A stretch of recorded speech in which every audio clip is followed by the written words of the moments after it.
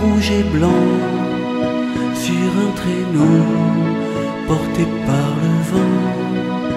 Il descendra par la cheminée.